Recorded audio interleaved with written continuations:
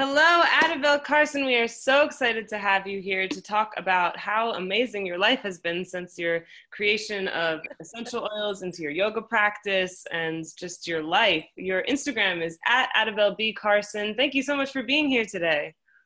Thanks. Thanks so much, Courtney, for having me. Well, we would love to hear a little bit of your journey of how you got introduced to essential oils and then how using them you just started to think, I should bring these into my yoga practice. Please tell us more. Okay, I hope my sound is all right. Um, I'm here in Waikiki right now, away from home on a family vacation. So um, let me know if it gets a little bit choppy or you can't hear me. I am, um, I've been on this yoga journey for quite a while. Um, I have five children, so after my fourth child, I I had kind of postpartum with each of them. Um, but with my fourth one, it really hit me like, I don't know, extra hard. So I found yoga as the means to truly, truly help me come out of that. And then I went to a class randomly. They had essential oils in the class. And I said, oh my gosh, this takes my yoga practice to an entirely different level. And um, I said, I've got to do this. This is what I've got to do every time I, I do a yoga practice. And then shortly afterwards, I um, became a certified instructor, not meaning to ever teach, just to um, dive deeper into my yoga practice just for myself. And, um, and you have to do so many hours of community service to get your certification. And I just started combining essential oils in my classes from day one. So, um, and then it, that kind of, that journey took me to several different companies of essential oils. When I ran out, I would just go to Whole Foods and get whatever smelled good on the shelf. And then my sister-in-law gifted me the um, the intro kit for a birthday present, and I opened up peppermint, and that rocked my world. And that was it. I had to use DoTerra in all my classes in my life, everything. And I've never been happier. It's, um, yeah, truly changed my life completely. So. I love that. How has how have essential oils improved your family life or your personal life, or um, in addition to being a benefit to your yoga practice? Um, gosh, it has incorporated into every fiber of my life, and so with my family, it's our first response to everything. So um, my youngest at the time when doTERRA was brought into my life was, um, gosh, he was just a newborn. And then my oldest at the time was 14, 15. And so um, anytime, and we kind of baptism by fire, like my daughter, my 15 year old, I think she was really um, coming down with, she used to get recurring um, uh, strep infections. So one time I just put oregano in the diffuser and told her to put a, a towel over her head and start breathing it in. And she kept saying, Mom, this really burns. And I'm like, that means it's working. Keep doing it. and so um, anyway, we we learned that kind of the trial and error way what works, but um, she got sick. She got well shortly after that. So it did the trick, but it was a little bit um, harsh the way we she got into using that. So, but um, so yeah, for first response and everything from scraped knees to um, sore throats um, to everything in my house that's a cleaning um, product. We only use, I have all my kids kind of have skin issues and allergies. Um, my third daughter, she has asthma. So that was the first thing um, that we found is that the essential oils were a great support to her respiratory needs.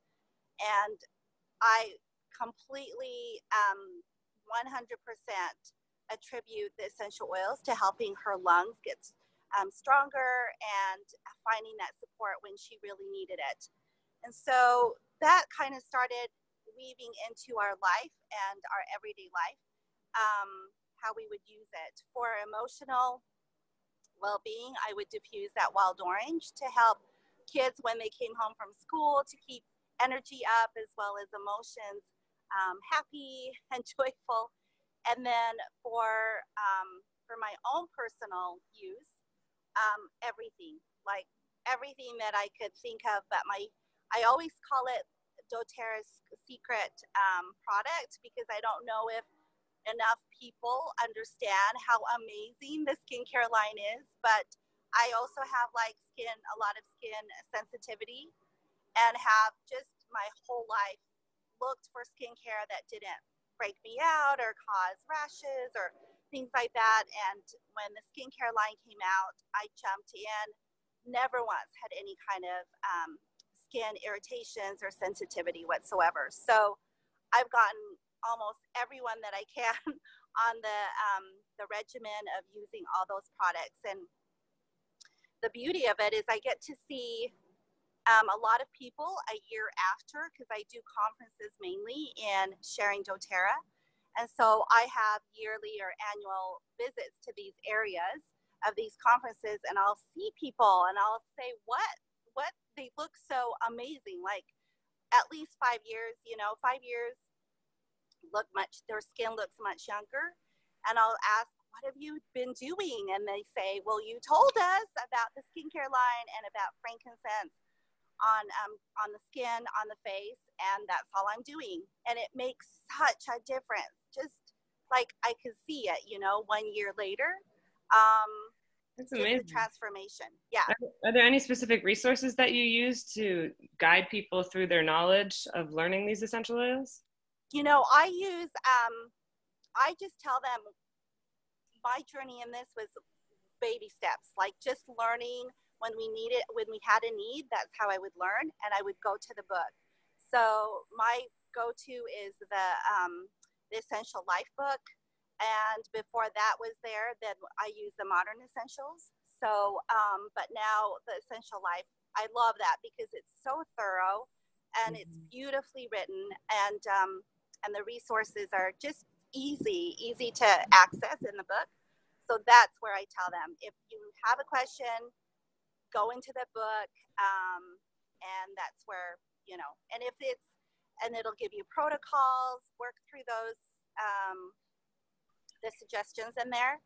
And because there's so many different suggestions it's because we're all so different. So just keep looking finding what works for you.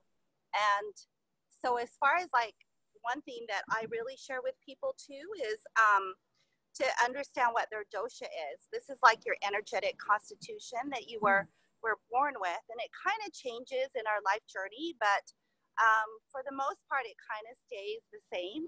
And for me, I discovered early on um, three essential oils that kind of just balance me, and I have to use these three essential oils every day, and that's um, geranium, lavender, and wild orange. And I combine those three different different um, uh, con- uh, concentrations of those essential oils, and then I'll put it on the with the fractionated coconut oil, and I'll use that as all over body moisturizer. I'll use it just throughout the day just to smell. But I feel like if I'm not, if I don't have that, my energies are just like all over the place. So, um, so that's another thing that I will share with people is just understanding what their energetic constitution is and kind of where they lean towards and then using essential oils to help balance that. That's incredible. How do you go into learning what your dosha is? So there's there are online um, questionnaires that you can fill out, and then it will it will help you um, kind of pinpoint. It'll give you there's three doshas. So there's kapha, pitta, and vata, and they all correspond to elements in the on in the earth. And so um, is more of your your um, earthy, very grounded energy, and pitta is fire, and then vata is wind. And so, um, depending on you know the characteristics of those, but multiple things, just how maybe your body shape or the way your body um, processes um, fuel, and also just your kind of like your mental state of your uh, your emotional state of how you handle life in mm. general um, will kind of determine what those doshas are. So, uh, yeah, so usually I can look at somebody and kind of talk to them for just a few minutes and and have a good guess of what their dosha is. Mm. So some people are very balanced, like they're equally balanced in all three energies, and then but most people, um, that's that's more rare, but most people are more um, they gravitate towards two of those doshas, and so we kind of we want to balance those two out. Amazing. I love that. And are you, is, does your book relate to the dosha balancing? I know that you have a book coming out, don't you? Yeah. So I know it's, I've been saying I'm updating it forever and ever, but um, when we had to transition to everything being compliant language in our resources, that's taken kind of a longer journey um, for me. And and then my daughter is doing all the artwork in it. So, but for sure, this convention will have the second edition up and running. Um, and I know people have held on to their first edition saying, When are you going to get this? This is falling apart on me. So, um, hold on to those and then it will be out. It's called Essentials for Yoga. And it's just a small booklet.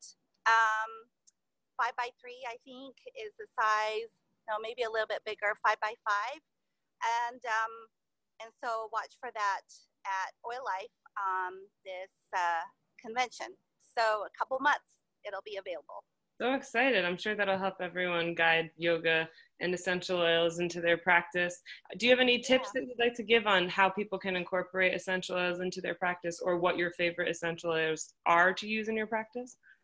So um, it's really tricky in the practice because I do things differently in my personal practice than I would in a class. So, in my personal practice, I will um, just kind of look at my collection of essential oils and know what kind of tune in and meditate a little bit right there to guide me what essential oil I need um, for that particular day.